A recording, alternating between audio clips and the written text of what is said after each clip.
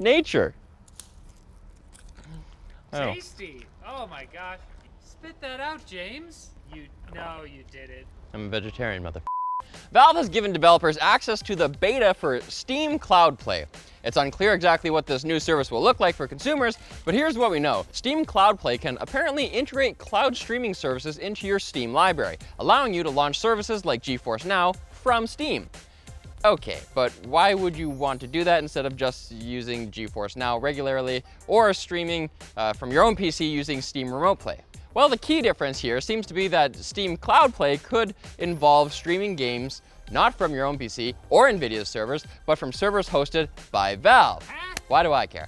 It also looks like Steam Cloud Play integration could help services like GeForce Now expand their library of supported games. That would be nice if it's super easy for publishers to opt in via Steam's platform. The news comes just as GeForce Now is actually getting some AAA games from Ubisoft back on the platform through the Epic Game Store. But let's be real here, guys. No one owns those games on EGS. We all just claim the free games. Thank you, Fortnite. I'm not gonna buy it if I don't have to. Okay, we're gonna talk about Trump and Twitter now, okay? But you gotta keep it chill, okay? Let's all just... This week has seen a tense confrontation between Twitter and US President Donald Trump over a number of his tweets. It started on Tuesday when Twitter pinned a fact-checking link to one of Trump's tweets, in which he claimed that mail-in ballots will lead to election fraud. Then on Thursday, Trump signed an executive order directing the FCC and FTC to investigate whether new regulations could be placed on social media giants like Twitter and Facebook, which would effectively turn them into publishers, which are liable and can be sued for the content they host instead of merely platforms, which are not liable for said content. Currently, Twitter and Facebook are protected from liability by Section 230 of the Communications Decency Act. There's plants on my mouth. Which both Trump and Joe Biden want to overturn. It's unclear what an order like this would accomplish for Trump, as Twitter might be more incentivized to remove sensitive tweets if they are liable for hosting certain content, which is the very thing that prompted this whole debacle in the first place. How ironic. I don't get it. While Twitter is going head to head with the president, Mark Zuckerberg apparently wants to just stay out of it. You know, robots, they don't like drama. Zuckerberg said in an interview that Facebook shouldn't be the arbiter of truth, even though the platform has been fact-checking posts about the American election and the COVID-19 pandemic. We'll have to wait and see what the future of social media looks like, but on the bright side, at least you can now schedule tweets on desktop Yay. again. Again? No, now. Oh, You- well, later. yeah, the future. Yeah.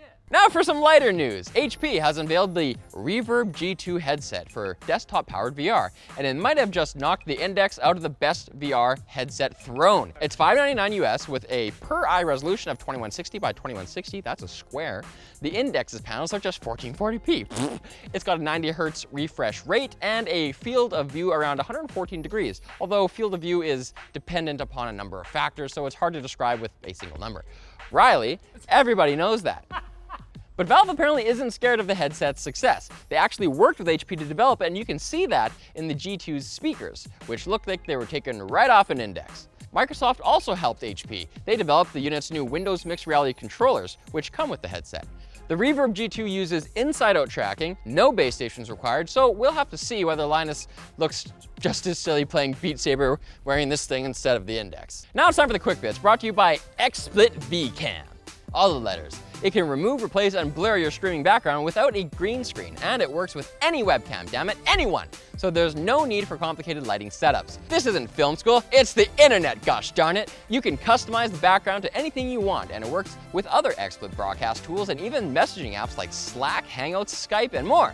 XSplit promises 24-7 support and lifetime updates for as little as $39.95 for a lifetime license or $9.95 for three months. That's three bucks a month. That's like a coffee or a flapjack. You can also use code Linus Tech Tips to get 10% off, so do that at the link below. This is like free in America. Quick bits, mm, with syrup. Hey, did you buy this $370 USB stick that promises to protect you from 5G radiation? Well, I'm sorry, you're an idiot. No refunds. You see, it doesn't actually use quantum holographic catalyzer technology for the balance and harmonization of the harmful effects of imbalanced electrical radiation at all. It doesn't do anything because it's a 128 megabyte, megabyte USB key with a sticker on it, and you should have known.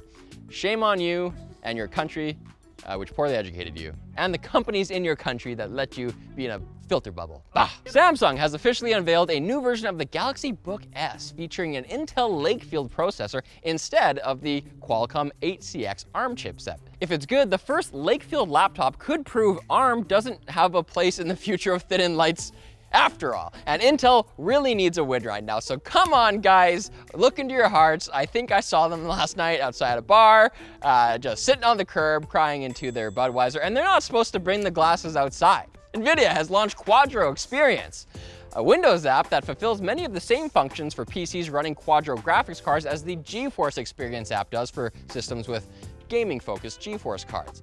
so I guess you're not gonna download it either. Users can record 4K footage, get driver updates, and optimize games. Because don't forget, you can run games on a Quadro too. You're just, if you do that, well, you're just spending a lot more to do that. Russians, that's how Hillary Clinton says it, the Russians are hacking our emails. The NSA says a division of the Russian military, codenamed Sandworm, very Dune, has been attacking email servers that run the, the Exim mail transfer agent it's an agent, which is used in both private and government organizations. Hopefully this naming and shaming will get IT managers to issue patches, but you know, the most effective way to kill a sandworm? What is it? Spoilers. I thought you would know. It's Dune. How do you kill it? I can't even respond to that without spoilers. Jeez. And an app by Yamaha called Remote Cheerer will let sports fans who are watching matches from home connect to giant speakers in the stadium so they can cheer on their teams from afar, but the players won't hear your actual voice. Fans will choose from a preset selection of cheers, boos, and rhythmic claps. That's probably for the best. I was gonna say this is a recipe for the biggest Zoom bomb ever. This is so stupid. Come on, ref! Like, if there's not a good turnout, the people on the soundboard are just like, just turn it up anyway. They're like, they're cheering us on! They really like you. That's enough of this nonsense. Come back on Monday for more tech news and maybe we'll have a building. We won't have to survive on plants! Don't do it, James! How do you feel? I'm going prickly leaf exclusive. This is actually the best leaf I've eaten.